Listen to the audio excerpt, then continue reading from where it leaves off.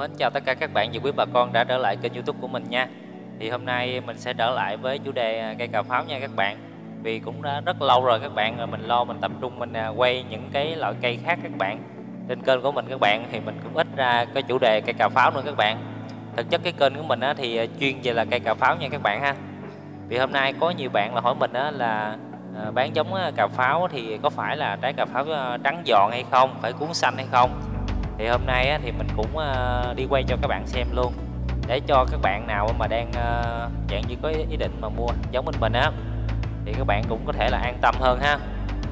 Ở đây mình đang quay rất là chậm nha các bạn thì hôm nay là trời cũng đang mưa các bạn. Ngày mai là mình chuẩn bị là mình hái ờ, cà pháo rồi nên bây giờ mình phải tranh thủ là mình quay cho các bạn xem luôn. Thì hiện tại thì cũng rất là nhiều bạn là đặt hàng bên từ bên mình các bạn. Thì các bạn là yêu cầu là trái cà pháo là phải là à, trái cà pháo trắng các bạn và cuốn là phải cuốn xanh bông là bông tím nha các bạn. Thì ở đây mình sẽ đi quay cận cảnh cho các bạn xem luôn ha. Bây giờ thì cũng là trời đang mưa lâm râm các bạn. Nhưng mà mình phải là đi quay cho các bạn xem. Tại vì à, ngày mai là mình là bắt à, đầu là mình hái rồi. Thì một tuần như vậy là mình sẽ hái à, trái một lần nha các bạn. Thì à, khoảng là 5 đến 6 ngày là mình hái ha ở đây mình đang có cầm theo một cái miếng ờ, cạch tông các bạn, để mình che cái điện thoại lại á. Tại vì đang mưa các bạn. Đây các bạn ha. Thì các bạn xem kỹ ha các bạn ha. Thì đây là cái cây cà pháo nha các bạn. Cà pháo là trái trắng ha các bạn ha. Cuốn xanh ha và bông tím nha các bạn. Và ở đây là mình đang ờ, trồng ờ, trên một cái mô hình là sen canh nha các bạn ha. Thì bạn nào mà đang trồng sen canh thì các bạn có đất trống thì các bạn uh, nên trồng sen canh đi các bạn thì nó hiệu quả cực cực kỳ luôn. Như ở đây á, là mình đang trồng cây bưởi da xanh các bạn và mình kết hợp và mình là mình uh, trồng cà pháo các bạn.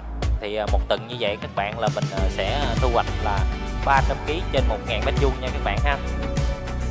Và từ cái ngày gieo và tới cái ngày mà mình ăn trái mà nó rộ các bạn là khoảng 85 ngày là 1.000 mét vuông là sẽ được 300 kg nha các bạn ha còn nếu như mà nó ra trái chiến thì nó tầm đâu khoảng là 60 ngày là bắt đầu là nó xây tầng nha các bạn và bắt đầu là nó có trái chiến từ từ.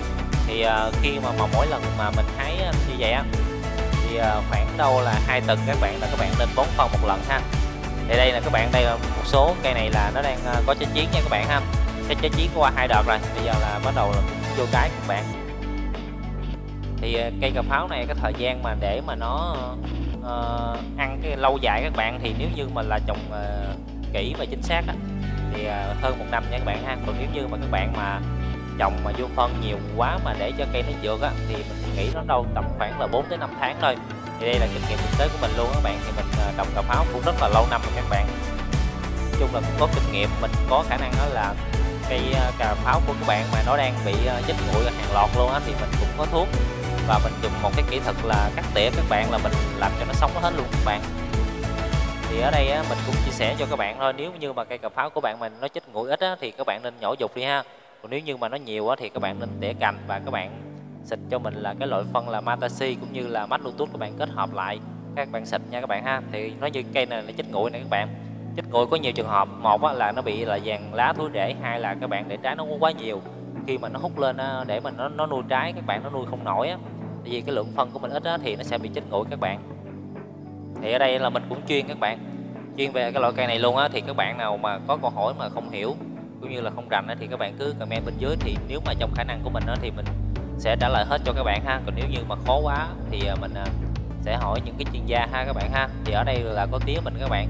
Thì tía mình cũng là chuyên là đi mua cà pháo lại các bạn nhưng cũng có kinh nghiệm rất là nhiều. Thì mình cũng học được từ tía của mình nha các bạn đây để quay cho các bạn xem ha. Bữa nay đang quay trời mưa luôn các bạn. Đang trời mưa lâm râm luôn á sẵn ờ, quay chia sẻ cho các bạn thôi. Tại vì lâu rồi mình không có chia sẻ trên cây cà pháo nữa các bạn. Đây cũng rất là nhiều mọi người ha. Thì đợt này, này là đợt thứ ba nha các bạn. Thì ờ, cứ một đợt như vậy là nó sẽ tăng ký ờ, từ từ nha các bạn. Vì nó bung tàn ra thì nó sẽ có khá nhiều các bạn.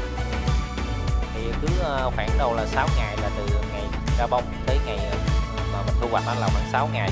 4 ngày là mình đã thu hoạch được rồi, nhưng mà cái từ cái bữa thứ 4 các bạn các bạn thu hoạch nó thì trái nó nhỏ, để 6 ngày thì bạn thu hoạch trái nó bự ha. Và ở đây thì nó bự cũng vừa phải như cỡ này thôi các bạn, chứ không có bự nhiều. Còn nếu như mà các bạn muốn bự nhiều á thì à, mình phải chơi phương pháp mà lai bung các bạn thì các bạn cũng biết là một cây cà pháo là cà pháo trước. Bạn loại loại cà pháo mà không có giòn á thì uh, bạn muốn like á, thì à, cái kỹ thuật như thế này mình sẽ nói sơ cho bạn ha. Thì bạn khi mà bạn lấy giống của cái loại cây đó đó và bạn lấy cái loại giống mà cà pháo giòn mà trái trái nhỏ thì mà nhỏ mà trái sai á bạn trộn đều với nhau các bạn uh, uh, gieo.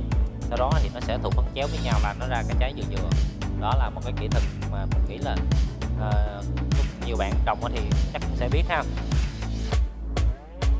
quay sơ cho bạn xem nè. Ở nhìn rất là đã mọi người ha, ở dưới đây là toàn là trái không các bạn. Tại vì ngày mai là hái rồi các bạn ha. Quay này trời cũng đang mưa các bạn. Cố gắng mình quay các bạn ha. Thì bạn nào chưa xe, chưa like cho mình đó thì hãy hãy like cho mình nha các bạn. Để mình tiếp tục mình à, quay cho các bạn xem ha. Ngày cần cà pháo nha các bạn. Ở đây mình có à, xen canh một vài cây ổi nữa các bạn trong những video trước. Cũng có chia sẻ cho bạn cái cách mà đồng ổi như thế nào mà để ra ra trái nhiều các bạn. Ổi ổi này là ổi đài lâu nha các bạn ha. Đây là cây cà pháo các bạn nhìn nó đã ha. Để mình kiếm cái bông mình quay cho các bạn xem ha. Đây là bạn bông tím nè các bạn. Đây là trái trắng nè các bạn ha. Thì à, bạn nào mà có ý định mà mua hàng giống mình mình á, thì trong video này á, thì mình cũng có để cái số điện thoại các bạn. Thì các bạn có thể là liên lạc mình qua Zalo nha các bạn ha. Và bạn nhắn tin địa chỉ là số điện thoại đầy đủ á, và mình sẽ ship qua bưu điện cho các bạn ha. Đây các bạn nhìn trái rất là nhiều mọi người ha. Loại này trái rất là sai nha các bạn. Trong cà pháo á, các bạn đừng cố gắng mà đừng để cho nó dược quá. Nếu mà nó dược quá thì à, cái thời gian mà ăn nó bạn nó rất là mau. 4 đến 5 tháng là xong rồi các bạn. Mình còn một cái chiêu nữa là mình à, chặt gốc các bạn cho nó lên cây non nữa các bạn. Ăn rất là hay. Thì rảnh thì mình sẽ à, Ờ, chia sẻ cho các bạn ha. Đây các bạn, nay quay cho các bạn xem kỹ luôn nè. Nó này là cà pháo mà mình, cái lón này là mới trồng nha các bạn ha. Thì ờ, gần sắp tới nữa thì mình sẽ ờ, trồng cà pháo nha các bạn. Thì hôm bữa mình có quay một cái vườn ương á, của mình cho các bạn xem á. Thì mình chuẩn bị đâu mình trồng khoảng đâu là 500 mét vuông nữa các bạn. Để mình đủ cái cái lượng mà giống á, để mình chia sẻ cho các bạn á. Chứ các bạn mua cũng nhiều các bạn mình uh, bán cũng không kịp luôn các bạn. Để quay sơ cho các bạn xem nè. Ở đây mình có một hai cây cà pháo mà nó ăn được đâu được cả năm các bạn. Để quay cho các bạn xem cây cà pháo này được năm nha bạn ha nhưng mà chưa tàn luôn các bạn. Trái trái vẫn giữ. Đây các bạn mình để mình ngồi xuống quay cho các bạn xem ha. Đây các bạn thì cây pháo này là đã được năm các bạn ha. Nhìn nó đâu quá cao đâu nếu mà các bạn mà để cho nó cao khoảng là một mét đó là xong. Từ 4 tới 5 tháng mà để cho cây pháo nó cao khoảng mét là xong luôn muốn mà cho cây pháo mà nó uh, lùng các bạn mà nó trái, trái sai á các bạn nên bón ra cái kali nhiều thì nó sẽ dặn lại được nha. Thôi thì uh, video ngày hôm nay thì mình chủ yếu là mình quay cho các bạn xem về cái trái cà pháo trắng giòn nha các bạn để cho các bạn yên tâm á. Thì uh, video mình cũng uh, xin được kết thúc tại đây nha các bạn ha. Thì uh, các bạn có thể xem lại những cái video trước của mình ha thì mình ra cũng rất là nhiều video về cây cà pháo các bạn. Tầm đâu cũng là trên 30 video rồi thì thôi, mình ờ, xin được ờ, mến chào tất cả các bạn và chúc các bạn được thành thành công nha. Rồi, mình xin được ờ, mến chào.